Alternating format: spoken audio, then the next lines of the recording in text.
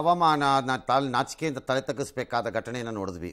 ಇಲ್ಲಿ ನಮ್ಮದು ಲೋಕಲ್ ಇದು ಡೆಮೋಕ್ರಸಿ ಡೆಮೋಕ್ರಸಿ ಪ್ರಜಾಪ್ರಭುತ್ವ. ಅವರಿಗಾಗಿ ಅವರಿಗೋಸ್ಕರ ಅವರೇ ಮಾಡಿಕೊಂಡಿರುವ ವ್ಯವಸ್ಥೆ.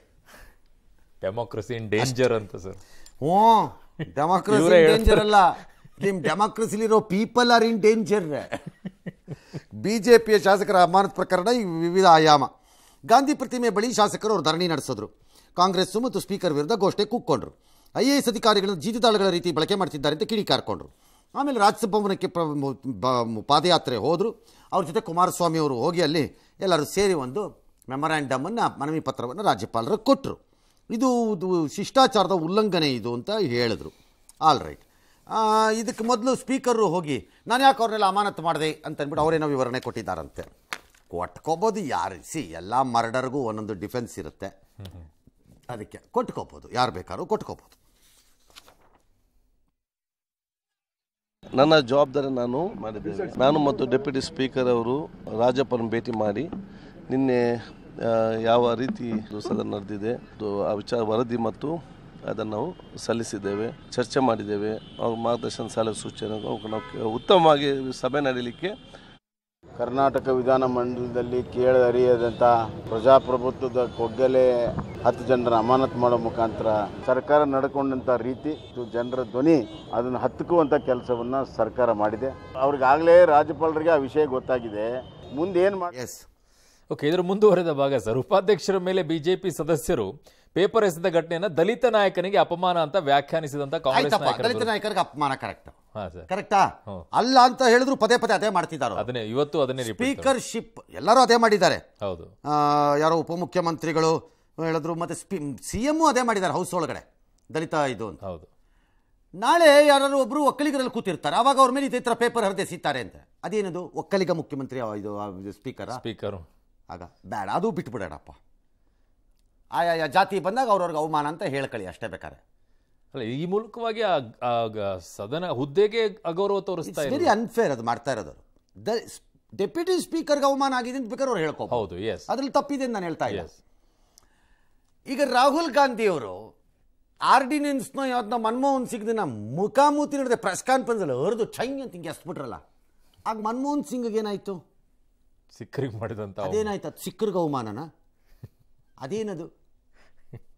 ಹರಿಯೋದು ಹರಿಯೋದೆ. ಸದನದ ಒಳಗಡೆ ಹರಿದ್ರೇನು ಹೊರಗಡೆ ಹರಿದ್ರೇನು? ಹರಿದು ಅವಮಾನ ಮಾಡಿದ ಹರು ಹರಿದ ಅವಮಾನ ಅಲ್ವಾ? ನೀ ಕಚಡ. ಅಂತ ಸದನದ ಒಳಗಡೆ ಬರೆದ್ರು ಕಚಡಾನೆ ಹೊರಗಡೆ ಬೈದ್ರು ಕಚಡಾನೆ. ಅಲ್ವಾ. ಅದೇನದು? I is Congress doing this it's very wrong ಅದ. ಆಮೇಲೆ ಎಲ್ಲ ಮುಖ್ಯಮಂತ್ರಿಗಳು ಹೇಳಿದ್ದಾರೆ ಏನಾರು ಇವ್ರು ಇಲ್ಲದೆ ಇದ್ದಿದ್ದಿದ್ರೆ ಯಾರು Marshals ಮಾರ್ಷಲ್ಗಳು ಇಲ್ಲದೆ ಇದ್ರೆ ಅವ್ರನ್ನ ಹಲ್ಲೆ ಮಾಡ್ತಾರೆ. ಸುಮ್ಮನೆ ಸಿದ್ದರಾಮಯ್ಯನವರು is experienced he knows the situation ಅಲ್ಲಿ ಹಲ್ಲೆ ಆಗೋ ಪರಿಸ್ಥಿತಿ ಇರಲಿಲ್ಲ. ಪೇಪರ್ ಅಷ್ಟೇ. ಪೇಪರ್ನ ಹರಿದಿದ್ದು ತಪ್ಪು ಅಂತ ಸಿದ್ದರಾಮಯ್ಯನವರು ಹೇಳೋ ಸ್ಟೇಜಲ್ಲೂ ಇಲ್ಲ. ಯಾಕಂದ್ರೆ ಅವರು ಹರಿದಾಕಿದ್ದಾರೆ. ಹೌದು. ಮೈಕೆ ಕಿತ್ ಬಿಸಾಕಿದಾರಲ್ಲ ಸರ್ ಜಮೀರ್ ಅವರು ಡಿ ಕೆ ಶಿವಕುಮಾರ್ ಇದ್ದಾಗ? ಇಲ್ವಲ್ಲ. ಮೈಕೆ ಹಿಂಗೆ ಎಲ್ಲಿ ಬಿಸಾಕಿದ್ದಾರೆ? ಅವರು ಎಂದಿನಂತೆ ಮೈಗೆ ಎಣ್ಣೆ ಹಾಕೊಂಡು ಹೋದ್ರಲ್ಲ ಅವರು? ಏನು ಹಾಗೆ ಇಲ್ಲ? ಉಪಮುಖ್ಯಮಂತ್ರಿಗಳು ಏನು ಇಲ್ಲ ಅದನ್ನ ಹೇಳಿದಾರೆ ಬಿಡಿ ಅಂತ. ಅದಲ್ರಿ ಹೇಳ್ಬೇಕಾಗಿರೋದು ಮಾನ್ಯ ಉಪಮುಖ್ಯಮಂತ್ರಿ ಡಿ ಸಿ ಎಮ್ಮ ನಾನು ಕಿತ್ತಾಕಿದ್ದೀನ ಇಲ್ವಂತ ಅಂತ ಹೇಳಿ. ಅದ್ಯಾಕೆ ಸುಮ್ಮನೆ ಮಿಥ್ಯಾಪ ಅಪ ಅಪವಾದ ಮಾಡಿಸ್ಕತ್ತೀರಿ ನಿಮ್ಮ ಮೇಲೆ? ಯಾರು ಹೇಳ್ದವ್ರು ನನ್ನ ಮೇಲೆ? ಎಲ್ಲಿದೆ? ನನಗೆ ತಲೆಗೆಲ್ಲ ಕೆಟ್ಟಿದ್ಯಾ? ಮೈ ಕಿತ್ತಾಕಕ್ಕೆ ಎಲ್ಲಿ ತೋರಿಸಿ ನೋಡೋಣ ಅಂತ ಹೇಳ್ರಿ. ಆಮೇಲೆ ಡೆಪ್ಯೂಟಿ ಸ್ಪೀಕರ್ ಅವ್ರನ್ನೇ ಮ್ಯಾನ್ ಹ್ಯಾಂಡಲ್ ಮಾಡಿದ್ದು ಇತ್ತಲ್ಲ ಸರ್? ಅದೆಲ್ಲ ಮಾತಾಡ ಅವನ್ನೆಲ್ಲ ಮಾತಾಡೋದು. ಅದೆಲ್ಲ ಮಾತಾಡಲ್ಲ. ಅದರಿಂದ ಪೇಪರ್ ಎಸ್ತಿದ್ದು ಅಟ್ಟರ್ಲಿ ರಾಂಗ್ ಸ್ಪೀಕರ್ ಮೇಲೆ ಹರಿದಿದ್ದಲ್ಲ. ಅಲ್ಲ ಅಟ್ಲೀಸ್ಟ್ ಅದನ್ನ ಬಿಜೆಪಿ ಜೆ ಅದನ್ನ ಗೂಂಡಾ ಪ್ರಕ್ರಿಯೆ ಅಂತ ನೀವು ಬಣ್ಣಿಸೋದೇ ಆದ್ರೆ ಓಕೆ ಇದಕ್ಕೆ ಅಪ್ಪನಂತ ಗೂಂಡಾ ನಡವಳಿಕೆಗಳನ್ನ ನಾನು ಹೌಸ್ ಒಳಗಡೆ ನೋಡಿದ್ದೀನಿ ಹಂಗಾರೆ. ಅಲ್ಲ ಅಟ್ಲೀಸ್ಟ್ ಬಿಜೆಪಿ ಅವರು ಬರ್ಬೋದಾಗಿತ್ತಲ್ಲ ಸರ್ ಈ ವಿಚಾರದಲ್ಲಿ? ನಾವು ಎಸೆಯೋ ಅಂತದನ್ನ ಎಸ್ದಿದ್ದೀವಿ ಅದು ಅವ್ರ ಮೇಲೆ ಬಿದ್ದಿದ್ರೆ ಅದಕ್ಕೆ ಕ್ಷಮೆ ಇರಲಿ ಅಂತ ಬಿಜೆಪಿ ಅವರು ಕೇಳ್ಬೋದಾಗಿತ್ತಲ್ಲ ಸರ್ ಬರ್ಬೋದಾಗಿತ್ತು. ಡಿಫೆನ್ಸ್ ಮೋಡಿಗೆ ಬಂದ್ಬಿಟ್ಟು ಮತ್ತೆ ವಾದವನ್ನು ಮಾಡ್ಬೋದಾಗಿತ್ತು ಬರ್ಬೋದಾಗಿತ್ತು ಅವ್ರು ಅದನ್ನ. ಆದ್ರೆ ಕಾಂಗ್ರೆಸ್ಸು ಅದನ್ನ ಮಾಡಕ್ ಜಾಗ ಕೊಟ್ಟಿಲ್ಲ. ಇವರೂ ಬರ್ತಿಲ್ಲ. ಇವ್ರಿಗೂ ಪ್ರತಿಷ್ಠೆ ದೊಡ್ಡದಾಗಿ ಪ್ರತಿಷ್ಠೆ ಅಷ್ಟೇ. ಗೌರ್ನಮೆಂಟು ಸದನವನ್ನು ನಡೆಸಬೇಕು. ಸದನವನ್ನು ನಡೆಸದೆ ನಾನು ಒಬ್ಬನೇ ನಡೆಸ್ಕೊಂಡು ಹೋಗ್ತೀನಿ ಅಂದ್ರೆ ನೀವು ನಡೆಸ್ಬೋದು. ನೀವು ನೋಡೋಣ ಮುಂದಕ್ಕೆ. ಸೊ ಇನ್ನು ಇವತ್ತು ವಿಧಾನಮಂಡಲ ಅಧಿವೇಶನ ಫುಲ್ ಕೂಲ್ ಆಗಿ ನಡೀತು. ಕಾರಣ ಸದನದಲ್ಲಿ ಸರ್ಕಾರವನ್ನು ಪ್ರಶ್ನಿಸೋರೇ ಇರಲಿಲ್ಲ. ಹತ್ತು ಶಾಸಕರ ಅಮಾನತು ಖಂಡಿಸಿ ಬಿಜೆಪಿ ಮತ್ತು ಜೆಡಿಎಸ್ ಜಂಟಿಯಾಗಿ ಉಭಯ ಸದನಗಳ ಕಲಾಪವನ್ನು ಬಹಿಷ್ಕರಿಸಿದ್ವು. ವಿಧಾನಸಭೆಯಲ್ಲಿ ವಿಪಕ್ಷಗಳ ಸಾಲಿನಲ್ಲಿ ಕೆಆರ್ಪಿಪಿ ಶಾಸಕ ಜನಾರ್ದನ್ ರೆಡ್ಡಿ, ಮೇಲ್ಮನೆಯಲ್ಲಿ ನಾಮನಿರ್ದೇಶಿತ ಸದಸ್ಯ ಎಚ್ ವಿಶ್ವನಾಥ್, ಜೆಡಿಎಸ್ನ ಎಂಎಲ್ಸಿ ಮರಿತಿಬ್ಬೇಗೌಡ ಹೊರತುಪಡಿಸಿ ವಿಪಕ್ಷಗಳ ಉಳಿದ ಸದಸ್ಯರು ಗೈರಾಗಿದ್ರು. ಪರಿಣಾಮ ವಿಪಕ್ಷಗಳ ಸಾಲೆಲ್ಲ ಖಾಲಿ ಹೊಡಿತಾ ಇತ್ತು. ಬಟ್ ಇವತ್ತು ಪ್ರಶ್ನೆ ಕೇಳೋಕ್ಕೂ ಕೂಡ ನಾಯಕರಿಲ್ವಾ ಅಂತ ಟೀಕೆಯನ್ನ ಮಾಡಿದರು. ಅಲ್ಲ ಅಲ್ಲ ಅಲ್ಲ. ಪ್ರಶ್ನೆ ಕೇಳಕ್ ವಿರೋಧ ಪಕ್ಷದ ನಾಯಕರಿಲ್ಲ ಯಾರು. ಇಲ್ವಾ ಅಂತ ಹೇಳಿ ಸಿದ್ದರಾಮಯ್ಯ ಚೀಫ್ ಮಿನಿಸ್ಟರ್ ಮುಖ್ಯಮಂತ್ರಿಗಳು ನನ್ನ ಪಾಯಿಂಟ್ ಚೀಫ್ ಮಿನಿಸ್ಟರ್ಗೆ ವಿರೋಧ ಪಕ್ಷದ ನಾಯಕರನ್ನ ಮಾಡಬೇಕಾಗಿತ್ತು ಮಾಡ್ಲಿ ಸರಿ ಅದು ಒಪ್ಕೋತೀನಿ. ಓಕೆ. ಸರ್ಕಾರಕ್ಕೆ ಏನು ಚಿಂತೆ ವಿರೋಧ ಪಕ್ಷದ ನಾಯಕರು ಇರೋದು ಇಲ್ಲದೆ ಇದ್ದರೆ ನಿಮಗೇನು ಚಿಂತೆ ನಿಮ್ಮದು ನಿಮ್ಗೆ ಏನಕ್ಕೆ ಬೇಕು ನಿಮಗೆ? ಸದನ ನಡೆಯುವುದು ಸದಸ್ಯರ ಪ್ರಶ್ನೆಗಳ ಆಧಾರದಲ್ಲಿ ವಿರೋಧ ಪಕ್ಷದ ಆಧಾರದ ಮೇಲೆ ಏನಲ್ವ ನನ್ನ ನಾಯಕನ ಆಧಾರದ ಮೇಲೆ? ಅಲ್ಲ ಅಟ್ಲೀಸ್ಟ್ ವಿರೋಧ ಪಕ್ಷದ ನಾಯಕ ಆಯ್ತು ರೀ ಈಗ ಅವ್ರು ಇಲ್ಲದೆ ಇದ್ರೆ ನಿಮಗೇನು ಪ್ರಾಬ್ಲಮ್ಮು ಕಾನ್ಸ್ಟಿಟ್ಯೂಷನಲ್ಲಿ ಸದನ ನಡೆಸೋಂಗಿಂತ ಅಂತೇಳಿ ಈಗ ಸಿ ಎಂ ಇಲ್ಲದೆ ಸದನ ನಡೆಸೋದು ಬೇಡ. ಅಂದ್ರೆ ಒಬ್ಬ ಅಪಾಯಿಂಟ್ ಆಗದೆ ನಾನು ಹೇಳೋದು ನಡ್ಸಕ್ ಬರಲ್ಲ. ಸರ್ಕಾರ ನಡ್ಸಕ್ ಬರಲ್ಲ ಅಂತ ಹೇಳೋದು ಕಾನ್ಸ್ಟಿಟ್ಯೂಷನ್ ಅಲ್ಲಿ ಹಾಗೆ ಸಂವಿಧಾನಾತ್ಮಕವಾಗಿ ವಿರೋಧ ಪಕ್ಷದ ನಾಯಕ ಇಲ್ದಿದ್ರೆ ಸದನ ನಡೆಯೋಂಗಿಲ್ಲ ಅಂತ ಏನಾದ್ರು ಇದೆಯೇನು? ಇಲ್ಲ. ಹಂಗಿದ್ರೆ ನೀವು ಸದನನೇ ನಡೆಸಬಾರ್ದು ಅವಾಗ. ಅದು ಇಲ್ದಿದ್ರೆ ನಿಮಗೇನಾಗಬೇಕು ಅಂತ ನಾನು ಕೇಳೋದು ಕಾಂಗ್ರೆಸ್ಗೆ. ಅವಮಾನ ಬಿಜೆಪಿಗೆ ಅದು ಒಪ್ಕೋತೀನಿ ನಾನು. ಹೌದು. ಒಂದು ವಿರೋಧ ಪಕ್ಷದ ನಾಯಕನ ಮಾಡ್ಕೊಳಕ್ಕಾಗೋ ಯೋಗ್ಯತೆ ಇಲ್ಲದೆ ಇದ್ರೆ ಅದು ಅವ್ರ ಹಣೆ ಬರಹ ಅದವ್ರದ್ದು ನೀವು ಯಾಕೆ ತಲೆ ಕೆಲ್ಸ್ಕೊತಾ ಇದ್ದೀರಿ? ಬಟ್ ಈ ಸದನದ ನಿಯಮಾವಳಿಗಳಲ್ಲಿ ಇದಿಲ್ವಾ ಸರ್? ವಿರೋಧ ಪಕ್ಷ ನಾಯಕ ಬೇಕೇ ಬೇಕು ಬೇಡ ಅನ್ನುವಂಥದ್ದು? ಇರಬೇಕು ಇದ್ರೆ ಅವನಿಗೆ ಫೆಸಿಲಿಟೀಸ್ ಕೊಡಬೇಕು ಅವ್ರಿಗೆ ಅಂತಿದೆ. ಅದಷ್ಟೇ ಇರೋದು. ಅದಿಲ್ಲದಿದ್ದರೆ ಸದನ ನಡೆಯೋಂಗಿಲ್ಲ ಅಂತ ಏನೂ ಇಲ್ಲ. ನಿಮ್ಮ ಪಡೆ ನೀವು ಸದನ ನಡೆಸಿ. ಪ್ರತಿಪಕ್ಷದ ಶಾಸಕರು ವಿರೋಧ ಪಕ್ಷದ ನಾಯಕರು ಸದನದ ಸದಸ್ಯರೊಬ್ಬರಷ್ಟೇ. ಬಟ್ ಹಾಗಿದ್ದಾಗ ಕೆಲವು ಸಂದರ್ಭದಲ್ಲಿ ಸ್ಪೀಕರ್ ಅವರು ಸಭೆ ಕರೆದಂತ ಸಂದರ್ಭ ಯಾರನ್ನಾರು ಕರೀರಿ ಫ್ಲೋರ್ ಲೀಡರ್ಗಳ ರೀತಿನಲ್ಲಿ ಯಾರು ಬೇಕಾದ್ರು ಕರ್ಕೋಬಹುದು ಅವಾಗ ಸ್ಪೀಕರ್ ಅದು ಪ್ರಿಯದಿಲ್ಲದೆ ಇರೋ ಏನೀಗ ಯಾಕೆ ಬಸ್ ಬರೋ ಮೈನೇ ಕರಿಬೋದು ಅಶೋಕನೇ ಕರಿಬಹುದು ಇನ್ನೊಬ್ಬರನ್ನೇ ಕರಿಬಹುದು ಕರ್ಕೊಳ್ಳಿ. ಯಾರಾದ್ರೂ ಒಬ್ರು ಕರ್ ಅಷ್ಟೇ. ಅಷ್ಟೇ. ಅದು ಯಾಕೆ ಇವ್ರು ಅಷ್ಟೊಂದು ಒದ್ದಾಡ್ತಿದಾರೋ ಅದಕ್ಕೆ ನನಗೆ ಅರ್ಥ ಆಗ್ತಿಲ್ಲ. ಕಿಂಡಲ್ ಮಾಡ್ತಾರೆ ಅಷ್ಟೇ. That is all it is but ಸಿದ್ದರಾಮಯ್ಯನವ್ರಿಗೆ ಅನ್ನಿಸ್ಬೇಕಾಗಿತ್ತು.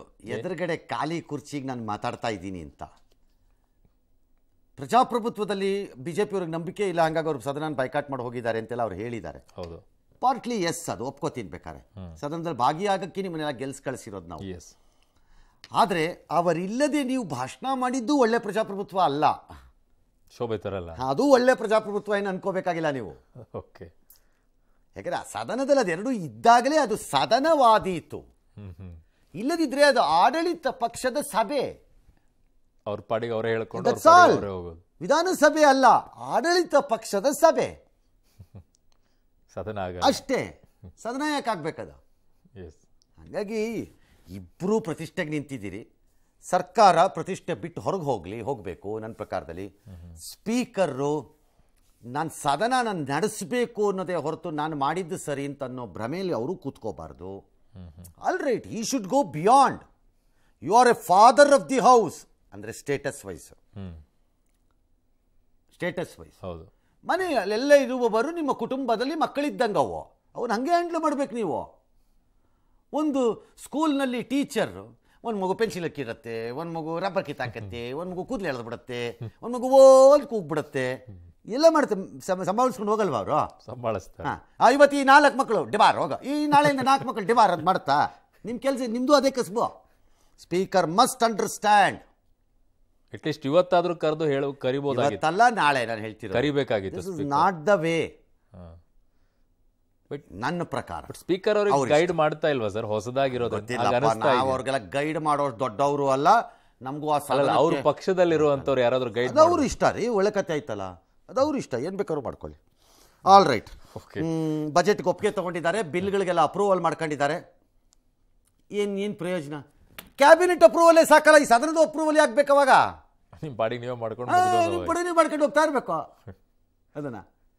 C ಅಲ್ಲೊಂದು ಚರ್ಚೆಗೆ ಜಾಗ ಇರಬೇಕು. ಈ ಕೌನ್ಸಿಲ್ಗೆ ಹೋಗುತ್ತೆ ಅಲ್ಲಿ ಅವ್ರು ತಡೀತಾರೆ. ಹೌದು. ಅದನ್ನು ತಡಿ ಗ್ಯಾರಂಟಿ ತಡೀತಾರೆ. ಯಾರಿಗೆ ಯಾರು ಭಾಷಣ ಮಾಡ್ತೀರಿ? ಅಲ್ಲ, ಎಷ್ಟೋ ಸಲ ಸಿದ್ದರಾಮಯ್ಯನವರು ಹೇಳಿದ್ದಾರೆ, ಚರ್ಚೆ ಇಲ್ಲದೆ ವಿಧೇಯಕಗಳನ್ನು ಹೆಂಗ್ರಿ ನೀವು ಪಾಸ್ ಮಾಡ್ಕೊಳ್ತೀರಾ ಅಂತ ಹೇಳಿ. ಅವ್ರು ಹೇಳ್ತಾರೆ, ನಾವು ನಿಮ್ಮನ್ನು ಬರಬೇಡಿ ಅಂದಿದ್ವಾ ಬರಬೇಕಾಗಿತ್ತು ಅಂತ. ನೀವು ಸಸ್ಪೆಂಡ್ ಮಾಡಿ ಅಂತ ಹೇಳಿದ್ರೆ. Suspension looks like an act of urgency ಅಂದರೆ ಬಹಳ ಆತುರದ ಹಾರ್ಶ್ ಕ್ರಮವಾಗಿದೆ. ಕ್ರಮ ಬೇರೆ ಹಾರ್ಶ್ ಬೇರೆ. ಸ್ಪೀಕರ್ ಸದನಕ್ಕೆ ಬಂದು I warn the ten of you be careful ಅದು ಕ್ರಮನೇ. ಅಡ್ಮಾನಿಷಿಂಗ್ ಅದು ಒಂದು ಕ್ರಮನೇ ಸದನದಲ್ಲಿ. ಬಟ್ ಇವತ್ತು ನಮ್ಮ ಸಂಜೆ ಡಿಬೇಟಲ್ಲೂ ಪಾಯಿಂಟ್ ಬರ್ತಾ ಬರ್ತಾ ಐವನ್ ಅವ್ರು ಹೇಳ್ತಾ ಇದ್ರು ಸರ್. ರಾಜ್ಯಸಭೆಯಲ್ಲಿ ಹತ್ತು ಜನ ನಮ್ಮ ಸಂಸದರನ್ನ ತೆಗೆದಾಕಿರ್ಲಿಲ್ಲ ಅದಕ್ಕೆ ರಾಜಕೀಯವಾಗಿ ನಡೆಸ್ಕೊಂಡು ಹೋಗೋದಾದ್ರೆ ಅದಕ್ಕೆ ಹತ್ತು ಜನನು ಇಲ್ಲಿ ಇದ್ದಂಗಿದ್ದಾರೆ ಸರ್ ಇರ್ಬೋದು. ರಾಜಕೀಯವಾಗಿ ನೀವು ನಡೆಸ್ಕೊಂಡು ಹೋಗೋದಾದ್ರೆ ನಡೆಸ್ಕೊಂಡು ಹೋಗ್ಬೋದು. ಅಲ್ಲಿ ಅವ್ರು ಮಾಡಿದ್ರೆ ನಾವು ಇಲ್ಲಿ ಮಾಡ್ತೀವಿ. ದ್ವೇಷದ ರೀತಿ. ಸಭಾಪತಿಗಳು ಅವಾಗ ಕೌನ್ಸಿಲ್ ಅಲ್ಲಿ BJP J D S supported council ಅವರಲ್ಲೊಂದು ಹದಿನೈದು ಜನ ಕಾಂಗ್ರೆಸ್ ಶಾಸಕರನ್ನ ಪರಿಷತ್ತಲ್ಲಿ ಅಮಾನತ್ ಮಾಡಬೇಕಾ ಈಗ? Is this the way we should think ಇದೆಲ್ಲವನ್ನ ಮೀರಿ ಇರಬೇಕಾಗಿದೆ ಸರ್ ನನ್ನ ಪ್ರಕಾರ chief minister has enormous experience ಇದೆ ಸದನದ ವಿಚಾರದಲ್ಲಿ. ಪ್ಲಸ್ ಅಲ್ಲಿ ಭಾಳ ದೊಡ್ಡ ದೊಡ್ಡವರು ಇದ್ದಾರೆ ಲೈಕ್ ಎಚ್ ಕೆ ಪಾಟೀಲ್ರು ಜೈಚಂದ್ರ ಎಲ್ಲ ಇದ್ದೀರಿ ನೀವೆಲ್ಲ. Sit down and you should resolve it in the best interest of democratic principles okay yes